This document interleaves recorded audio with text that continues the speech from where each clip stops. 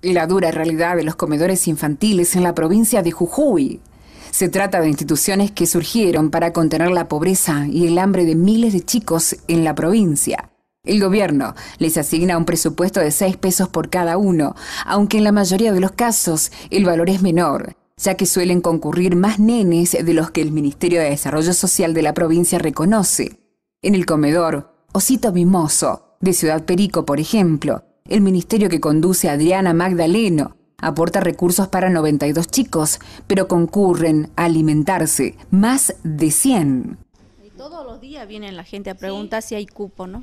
Y se le tiene que decir que no porque no alcanzan. No es que no le queramos, sino que nosotros cocinamos y no alcanzan, nos dan para cierto cupo, aunque sí damos igual de más, porque pero vienen todos los de repartir, digamos. Claro, pero igual de todas maneras vienen todos los días a preguntar si hay cupo, si, si no están anotando, si no están anotando, pero no nos alcanza para darle a todos. Esta, este tipo de situación ustedes avisaron a Desarrollo Social y ¿qué les dicen? ¿Por qué no les dan más cupos? El gobierno ellos dicen que ellos, no, o sea, como tipo de que ellos no, no deciden eso, sino que decide el gobierno. Ellos tiran la pelota al gobierno. ¿El gobierno nacional? Y sería el gobierno nacional, si ellos son provinciales y no, no nos dan, entonces yo creo que sería el nacional. No deben, están de dos meses que no deben los cheques de los... Están con deudas también. Deudas, sí. ¿Y cómo hacen ustedes para sostener el comedor? Fiado, o sea, como aquí ya conocemos, entonces sacamos fiado y cuando baja el cheque ya va pagando. ¿Y esa plata viene de la nación? Sí. ¿Y por qué dicen que se retrasa? ¿Por qué no pagan entonces? está así. Sí, están retrasados y bueno, nosotros vamos a cobrar, nos llaman y no deben. Son de tres meses que no deben. ¿Tres meses? Sí.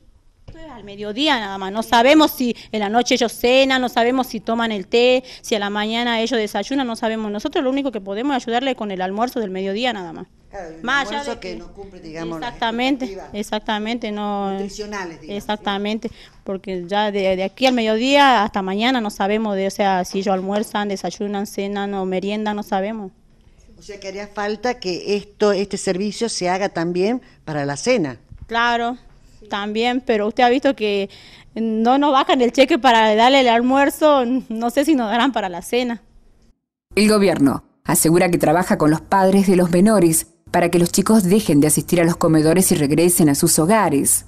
El problema es que la falta de trabajo condena a miles de familias a la miseria y los comedores infantiles se convierten en la primera opción de miles de jujeños. El gobierno reconoce que son al menos 30.000 chicos que almuerzan cada día en estas instituciones. Se resiste a ampliar el presupuesto de los comedores y mientras confronta y se envuelve en una discusión sin sentido, hipoteca el futuro de una generación entera. Más allá de, todas las políticas sociales que pueden existir, eh, son barrios que mm, necesitan muchísima ayuda y muchísima intervención, tanto profesional como del Estado también. Es necesario por ahí eh, eh, poder trabajar con ellos y sobre todo con la juventud que actualmente en estas partes está muy carenciada, es muy carenciada y no solamente económicamente, sino simbólicamente. Hola, ¿de qué barrio venís vos? Barrio San Miguel. ¿Cuántos chiquitos tenés? Tengo dos. ¿Y no alcanza lo que en la casa? No, somos muchos. Somos.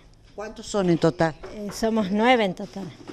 ¿Con quién vivís vos? Con mi papá y mi mamá. ¿Y no hay trabajo? No, me gustaría conseguir para tener ¿Vos sos mamá soltera? Sí, sí, yo soy mamá soltera. ¿Qué tiempo tienen tus niñitos? Y mi nena tiene seis y mi changuita tiene cinco. Bueno, venís de la nueva ciudad a buscar la comida acá a este comedor. Sí.